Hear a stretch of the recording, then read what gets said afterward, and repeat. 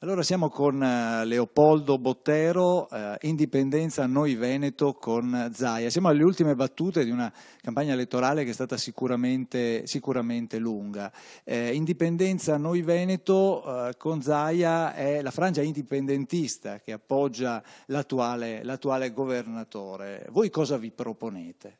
Beh, noi ci proponiamo di lavorare per l'indipendenza di questa nazione, il Veneto, in maniera democratica, progressiva e virtuosa, passando attraverso anche delle alleanze, quindi anche dei compromessi, quindi accetteremo tutti i passi in avanti perché servono per arrivare alla meta.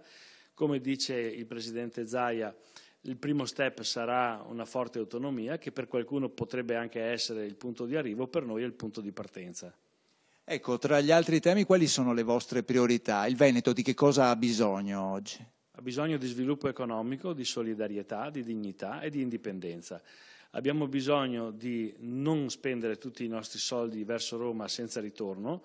Noi abbiamo 21 miliardi di eh, differenziale eh, sulle tasse, cioè paghiamo 70 miliardi e riceviamo servizi per 49, vorremmo disporre di questi soldi, visto che poi non vanno a risolvere i problemi di nessuno, perché la sanità del sud che costa di più della nostra non è che brilli per eh, grandi qualità.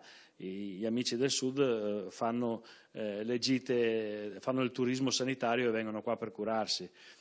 Quindi vogliamo disporre di questi soldi per poter rilanciare l'economia, per poter risolvere tutti i problemi. Del, cioè noi se fossimo indipendenti in tre anni saremmo la più ricca nazione dell'Europa.